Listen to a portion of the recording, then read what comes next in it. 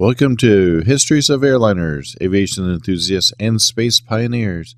Today we take a closer look at a remarkable aircraft, a Convair 990 that worked for the National Aeronautics and Space Administration, or NASA for short. Specifically, the one registered as November 710 November Alpha. Buckle up as we explore its history and the groundbreaking research it facilitated.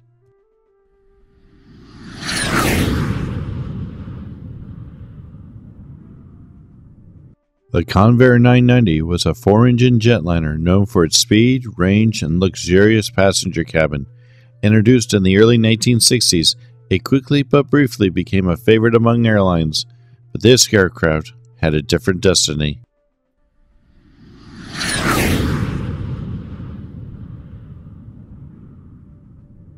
Before this aircraft stays with NASA, it would perform the role it was designed and built for from the onset as a passenger carrying airliner.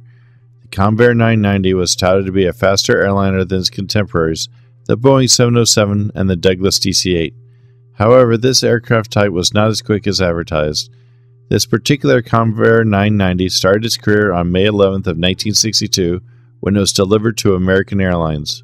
While with American, it was painted in that airline's Astrojet livery, but this would be a short career with American as the niche American Airlines wanted this plane to fill it was soon better filled with the Boeing 707 derived Boeing 720 and then the Boeing 727.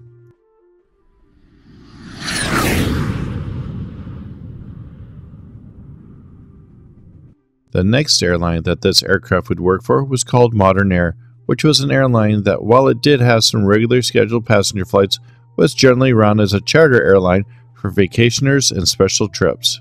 They acquired this Convair 990 on the 2nd of February of 1968.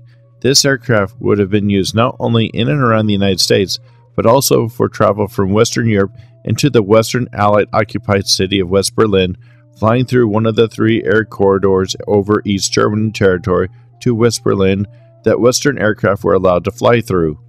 However, by 1975, modern air's use of the fuel hungry Convair 990s and the general attitude ownership had to the airline itself led to its demise in 1975.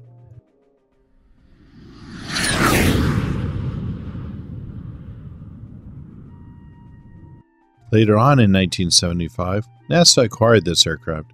This jet was perfect for NASA's research needs due to its spacious cabin and stable flight characteristics. For nearly two decades, this aircraft was used as a general testbed aircraft to test different new systems for air and spacecraft. In 1993, one of the main landing gear from the shuttle prototype Orbiter Enterprise was installed on this aircraft, and for two years, this aircraft was used to test different tires on different runway surfaces. The results of this research allowed the space going orbiters to land in crosswinds up to 20 knots from the original limit of 15 knots. In 1996, this aircraft was retired by NASA and placed in storage at the Mojave Airport. By 2001, this aircraft had been repainted partially and placed as a gate guard aircraft at that very same Mojave Air and Spaceport.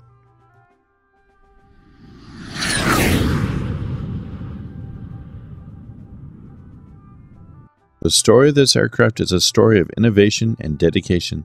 It's a reminder that even used airliners can be transformed into powerful research tools, pushing the boundaries of aerospace technology.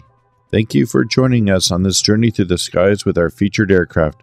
As we continue to explore the cosmos, the legacy of these research aircraft paves the way for a brighter future in aviation. If you enjoyed this video, be sure to like and subscribe for more aviation content. In the comments below, please let us know what you think of this video. Check out our links at the end for more Convair related videos, and if you wish, you can support us on Patreon or become a member of my YouTube channel by joining the channel's Coach Class membership level. Being either a Patreon or YouTube channel member will allow you the benefits of early viewing of new videos, and you will get to help choose the next video.